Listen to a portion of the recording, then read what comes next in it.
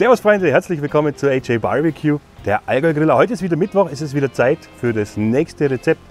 Ihr wisst es vielleicht vom letzten Video, bei mir ist eine Baustelle, ich baue mir ein Grillstudio gerade an meinen Grillplatz ran. Deswegen machen wir heute noch einmal was aus dem Dutch Ofen, aber nächste Woche, da wird wieder gegrillt. Was machen wir heute? Wir machen heute ein kulinarisches Highlight, das kann ich euch schon mal versprechen. Es gibt Rehkeule, es gibt Gulasch aus der Rehkeule und eine zweite Rehkeule, die wir mal so im bisschen äh, aufgeteilt, zerteilt, wenn wir die äh, garen, auch hier im Dutch Ofen. Und in der Gugelhupfform, da machen wir unseren schönen Semmelknödelkuchen. Mhm. Die eine Rehkeule, da muss ich der Jenny mal ganz lieb Danke sagen. Jenny ist aus dem Saarland, die habe ich kennengelernt auf dem Geburtstag von meinem Schwiegerpapa. Die ist Jägerin, so wie mein Schwiegerpapa eben auch. Und die hat diese Rehkeule geschossen. Jenny, wenn du das Video siehst, ich danke dir recht sakrisch. Ich bin nochmal super gespannt. Und ich würde dich nachher wissen lassen, ob sie geschmeckt hat. So, Intro und danach zeige ich euch ruckzuck, wie es geht.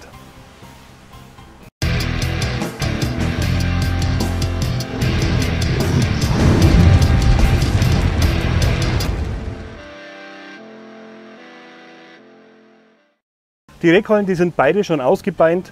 Äh, da hat der Jörg nämlich, ne, Jörg habt ihr ja schon kennengelernt, einen wunderbaren Wildfond angesetzt. Den brauchen wir später im Dutch Ofen. Ähm, außerdem hat er mich darauf hingewiesen, dass im Saarland wohl scheinbar die Rehe nicht mehr am Stück laufen, sondern schon nur noch die Keulen geschossen werden. Natürlich hat die Jenny ein Reh geschossen und nicht die Keule. Die Keule vom Reh, die haben wir gekriegt. Freunde, los geht's. Wir fangen an und schneiden einmal die restlichen Zutaten. Auf geht's, kommen wir dran. Am Anfang steht natürlich immer das Ausbeinen. Das haben wir aber schon gesagt, das ist schon passiert, weil der Jörg hat ja den Wildfond eben angesetzt. Das zeigen wir euch jetzt nicht, das wird den Rahmen sprengen. Wenn euch das interessiert, wie man das macht, googelt es nach, schaut hier auf YouTube, das findet ihr mit Sicherheit, wie man einen Fond ansetzt. Als nächstes haben wir hier Jennys Keule. Deine Keule, Jenny. Die müssen wir jetzt zerteilen und parieren. Das Reh ist ein sehr, sehr zartes Fleisch. Das heißt, wir können das eigentlich weitgehend mit von Hand machen. Da braucht man nur immer da unten reinfahren, schaut her. Dann kann man das richtig schön zertrennen.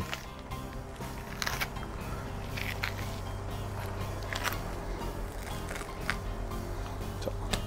Jetzt nehmen wir die Sehnen noch runter, das ist wie bei jedem anderen Fleisch. Die will keiner essen, die schmecken nicht, das ist ein total ekelhaftes Mundgefühl. Und das machen wir wie beim Rinderfilet. Das ist alles, was wir machen müssen. Das machen wir mit der zweiten Keule auch. Die zweite Keule, die schneiden wir einfach noch in mundgerechte Stücke. Aus der machen wir das Gulasch. Die tolle Keule aus dem Saarland. Die tolle Keule aus dem Saarland, das klingt toll. Die lassen wir so, die braten wir jetzt dann ringsherum scharf an, aber da seid ihr natürlich live dabei. Was wir jetzt noch machen müssen, das sind die ganzen Zutaten, die wir noch brauchen, wie jetzt die Zwiebeln und so, das schneiden wir jetzt. Und ich hoffe, weil ich ein fauler Hund bin, dass das der Jörg für mich übernimmt.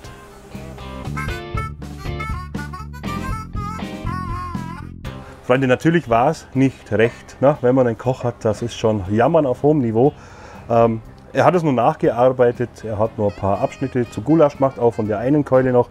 Und so ist jetzt das Endergebnis. Wir haben hier richtig schön im Vordergrund die Rehkeule liegen und im Hintergrund richtig schöne Stücke. Ähm, aus dem machen wir das Gulasch. Und jetzt geht es weiter mit der Zwiebel. Auf gut Deutsch, die Zwiebel. Ja, glücklicherweise, wie ich schon gehofft habe, macht es der Jörg für mich. Der kann das. Und wisst ihr, was das Gute ist? Beim Jörg brauche ich nicht einmal vorspulen bzw. den schneller laufen lassen, den Film. Schaut euch das an. Ha, ratzfatz. Der hat das aber auch gelernt, das muss man dazu sagen. So, die eine Hälfte der Zwiebeln, die schneiden wir in halbe Ringe. Das seht ihr hier, die brauchen wir fürs Gulasch. Die andere Hälfte der Zwiebeln schneiden wir in kleine Würfelchen.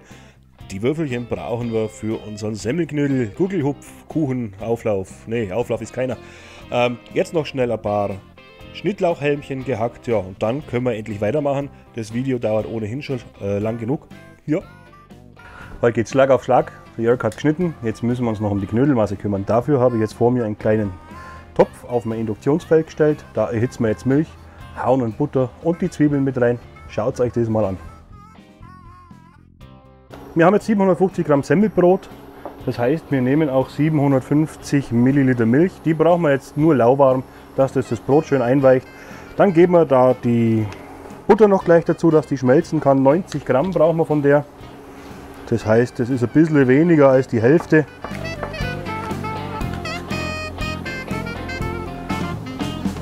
Und da geht es jetzt nur darum, dass das Ganze warm wird und schmilzt. Was man noch machen kann, ist, dass man die Zwiebeln mit reinschütten gleich.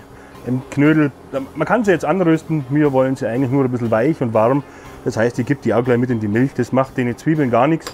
Es fehlen halt ein paar Röstaromen, aber die kriegen wir nachher am Speck in der Gugelhupfform. Das werdet ihr nachher aber alles sehen. Es reicht hier wirklich, wenn die Milch lauwarm ist. Es geht nur darum, dass die richtig schön in die Brotwürfel einziehen kann. Das heißt, wir nehmen das Ganze jetzt von der Induktionsplatte, schütten das da in diese Brotwürfel. Ja, und dann darf der Jörg verkneten, weil es ist ein bisschen warm worden. Der Jörg hält Hitze aus, hat er gesagt. So, wenn wir das jetzt da drin haben, geben wir noch die unterschlagenen und in Ringe geschnittenen Frühlingszwiebeln, die Schnittlauchröllchen äh, dazu und dann lassen wir das Ganze ja mal 10 Minuten stehen.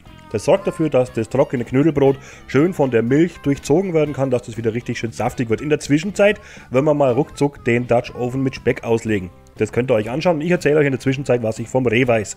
Das Reh ist die in Europa häufigste und kleinste Art der Hirsche. Als Trughirsch ist es näher mit Rehen, Elch und dem amerikanischen Weißwedelhirsch verwandt als mit dem in Mitteleuropa ebenfalls heimischen Rothirsch. Das Reh besiedelte ursprünglich Waldrandzonen und Lichtungen.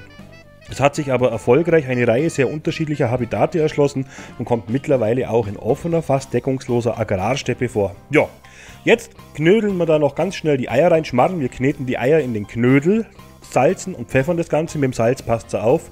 Der Bacon selber hat schon Salz, dass das nicht zu würzig wird. Ja, und dann füllen wir einfach die Gugelhupfform mit dem Knödel bis fast oben hin. Klappen oben die Bacon-Rückstände äh, zusammen. Wenn ihr noch ein Bacon übrig habt, legt ihr den jetzt noch oben drauf, Deckel drauf und fertig. Jetzt brauchen wir natürlich was? Wir brauchen Hitze. Dann nehmen wir wieder die Cubes von Gluckgold, die heizen wir uns durch. Das machen wir halt alles im Lagerfeuerplatz. Schaut mal da runter.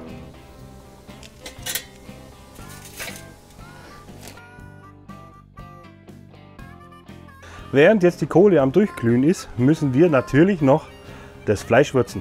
Dafür haben wir hier eine Fertigwürzmischung. Ich denke immer Wildfleisch. Da gibt es ganz leckere Fertiggewürzmischungen. Also ich will mich jetzt nicht dran trauen, das separat zu würzen. So, dann nehmen wir einfach unsere Stücke von der Keule hauen die aufs Brett.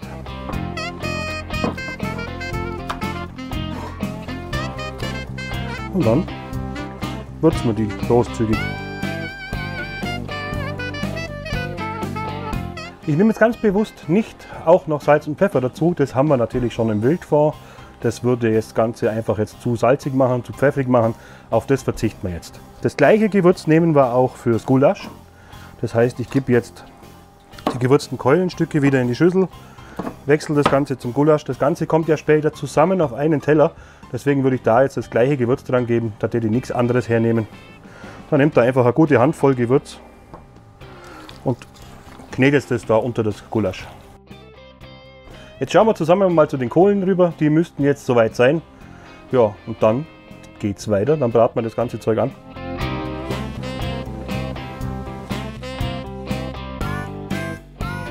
Kohlen sind durchglüht.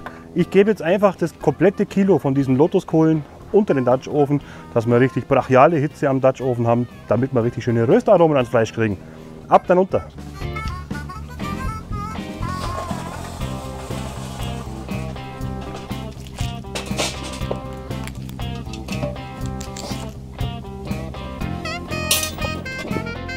Ja, wenn der Topf dann heiß ist, ihr seht es, das Fett ist auch noch drin, ein bisschen Fett haben wir reingegeben, ein Rapsöl in dem Fall, dann müssen wir die Keulchen ringsherum anbraten. Dafür, wie gesagt, haben wir ja vorher schon gesehen, habe ich jetzt alle Kohlen unten drin, weil wir brauchen richtig viel Hitze von unten. Den Bratensatz, den ihr da jetzt am Dutch Ofen Boden seht, den brauchen wir auch. Da steckt richtig viel Geschmack drin. Da geben wir jetzt nur noch einen Esslöffel Tomatenmark dran. Das Ganze wird auch angeröstet. Passt wie immer drauf auf, wenn ihr das zu arg röstet, dann wird es bitter, dann schmeckt es nicht. Jetzt löschen wir alles mit Portwein, dem äh, selbstgemachten Rehfond und mit einem Schuss guten Rotwein ab. Schauen dabei, dass wir die Röststoffe vom Boden vom Dutch Oven lösen können, dass die mit in dieser super leckeren Soße sind. Dann kommt das Fleisch zurück in den Dutch Oven, der Deckel kommt drauf. Ja, und dann ist es mit dem ersten Dutch Oven schon erledigt und wir kümmern uns um den nächsten, nämlich hier die K8. Den haben wir logischerweise jetzt auch erst einmal aufheizen lassen. Wenn der runde Dutch Ofen abkühlt, das macht jetzt nichts. Das kommt ja nachher alles gemeinsam gestapelt in die Hitze. So, auch da wollen wir das Gulasch jetzt erst einmal ringsherum anbraten. Die Röstaromen, die am Boden sind, die brauchen wir auch hier. Tomatenmark geben wir drauf, Zwiebeln geben wir drauf und hier die Preiselbeeren. Die Soße, die jetzt hier durch das Gulasch entsteht, die machen wir nur minimal anders. Aber das ist auch die Soße, die später für das ganze Gericht gedacht ist. Die Flüssigkeit, wo die Keulen drin liegen, die ist sehr dünn, die müsste man nur einkochen oder abbinden. Das wird beim Gulasch aber selbst passieren, das seht ihr jetzt dann. Auch da löschen wir mit Portwein, Rotwein und äh, Wildfond ab. Freunde, jetzt ist es soweit. Wir haben jetzt einmal ohne euch gestapelt. Ich erkläre euch jetzt einmal kurz das Setup, das wir gewählt haben.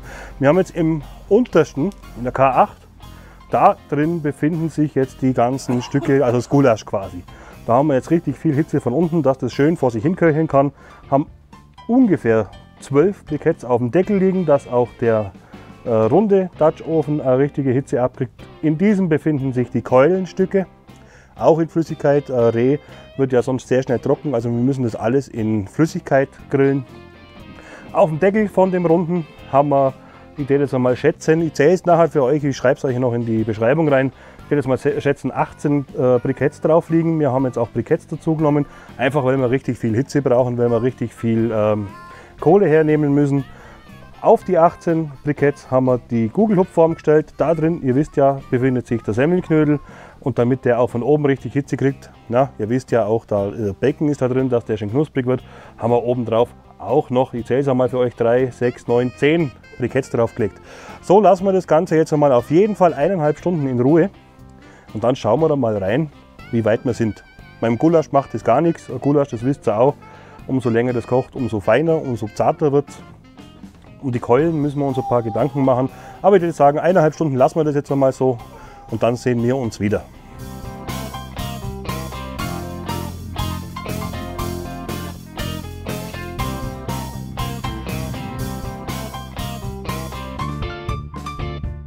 Wir sind jetzt momentan bei eineinhalb Stunden Gulasch und Keule und bei einer Stunde bei den Knödeln. Jetzt schauen wir natürlich einmal rein, nicht dass uns die Knödel schwarz fahren. Das heißt, wir machen jetzt gemeinsam den Deckel auf. Oh, ha, ist das der Hammer, Freunde. Ich steche mal rein, aber da nichts mehr am Stäbchen. Das heißt, ich nehme den Knödel jetzt runter und stelle den mit den Kohlen, die oben drauf liegen, dass er warm bleibt, stelle die einfach nebenhin. Wir wollen jetzt nicht mehr wirklich, dass er nachgart. Der ist soweit fertig. Er soll jetzt nur noch warm bleiben. Das heißt, wir stellen den nebenhin und gut ist. Jetzt brauchen wir noch ein paar Minuten Gulasch und Keule. Da holen wir euch aber wieder dazu. Mhm. Wie versprochen, so schaut es jetzt aus bei den Keulen. Einmal frei, brauchen wir nichts mehr tun. Ähm, das Gulasch ist ein eingekocht, macht gar nichts. Wir haben noch Fond übrig, den geben wir da rein. Da müsst ihr ein bisschen drauf aufpassen. Ähm, Wein geben wir noch rein, damit es nochmal ein bisschen an Geschmack gibt. Ja, dann machen wir den Deckel drauf. Und dann hätte ich gesagt, ist es soweit. So, wir haben jetzt noch etwa 10 Minuten, dann gibt es Essen. Wir müssen jetzt aber auch noch unsere Feigen vorbereiten, weil heute gibt es Feigen. Wild ist ja perfekt für irgendwelche fruchtigen Geschichten. Wir haben ja schon Preiselbeeren drin und Feigen mit Honig und Balsamico zusammen gegrillt. Passt einfach wie Faust auf Auge. Da machen wir gar nicht viel. Da schneiden wir einfach das Deckerli ab. Und dann schneiden wir die nicht ganz durch, aber ein. Wir haben jetzt, wenn er runterschaut, gleich, wenn er runterschaut, haben wir alles auf Seite gestellt. Ein paar Kohlen sind auf dem Deckel geblieben, ne, damit es heiß bleibt, damit es warm bleibt. Außer bei den Keulen. Da nehmen wir den Deckel jetzt her, da müssen wir noch unsere Feigen schnell anbraten. Das geht aber rucki und zucki. Wir haben den Deckel vom Dutch Ofen aufheizen lassen. Fett brauchen wir gar keins, das geht jetzt rucki zuck. Da legen wir jetzt die, die Feigen rein mit der nicht geschnittenen Fläche nach unten. Auf die Schnittflächen der Feigen geben wir jetzt auf geben wir jetzt ein bisschen Honig. So, außerdem geben wir noch auf jede Feige einen kleinen Spritzer Balsamico-Creme. So lassen wir das jetzt drei, vier Minuten und dann können wir anrichten und essen und wir sehen uns am Brett wieder. Schaut euch das an. Ist das ein Knödel? Ich finde geil. Wir versuchen das Ganze jetzt hier aufs Brett zu stürzen, sodass wir einen richtig schönen Kugelhupfknödel haben. Und das hat meines Erachtens richtig gut funktioniert. Schaut mal her.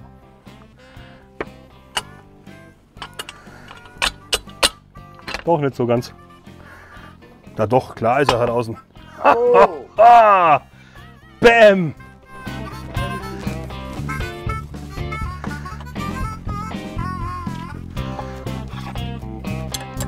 Hm. Aber der Speck schadet nie. Jetzt schaut da rein. Ha? Habe ich euch zu viel versprochen? Ist das ein geiles Stück? Top. So, wir richten jetzt alles an. Mein Besuch geht essen und wir sehen uns gleich zum Fazit wieder. Wir haben jetzt alles in allem zwei Stunden Garzeit gehabt. Wir haben etwa eine halbe, dreiviertel Stunde Vorbereitungszeit gehabt. Also in drei Stunden ist alles durch, ist alles erledigt. Und dann habt ihr so ein fantastisches Menü vor euch liegen.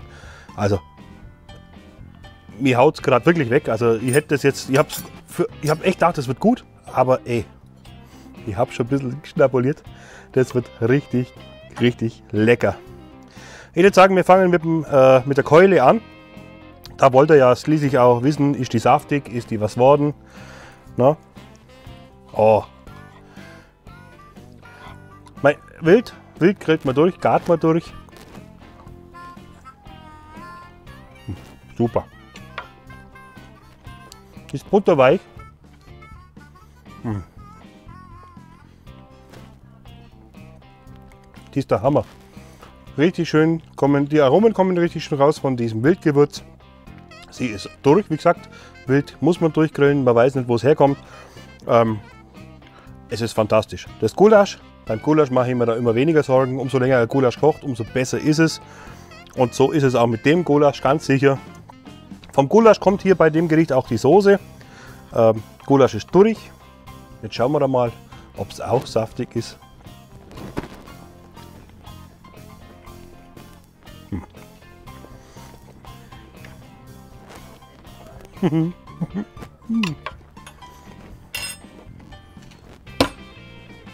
Das ist eine Punktlandung, Leute. Ohne Schmarrn. Die fruchtige Feige dazu, der leckere Semmelknödel, das machen wir jetzt noch. Und dann täte ich sagen, dann schauen wir, was noch übrig bleibt. Nämlich nichts wahrscheinlich.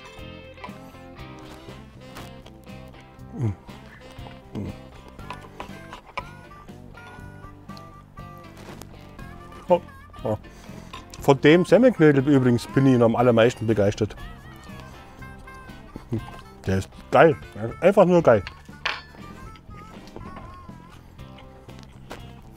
Also alles in allem passt das super, das passt zusammen, das harmoniert miteinander. Es ist saftig, es ist durch, es ist ein wunderfeines, wunderbares feines Stück Reh. Es ist einfach phänomenal. Ich wünsche euch eine schöne Woche. Ich hoffe, ihr macht es einmal nach und wenn ja, lasst es mich einmal wissen. Ähm, alles für sich alleine ist ein Highlight. Alles. Aber zusammen ist es halt einfach Faust auf Auge. Wir sehen uns nächste Woche wieder. Euer Andi von AJ Barbecue. Der Allgäu Griller. Griller. Servus. Achtung, Handschuh.